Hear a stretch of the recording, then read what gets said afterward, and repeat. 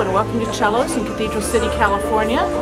Cello's American Bistro is named after my husband Tom, who makes his own lemon limoncello and got the nickname Tommy Cello and Hans Cellos. And when you come in, you have to try our famous limoncello tiramisu because we had to have something on the menu that had limoncello in it.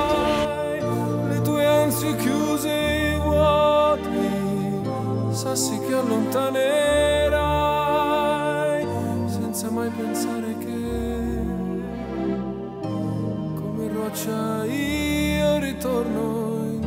And here's Tommy Cello. And if you're lucky, he'll give you one of his homemade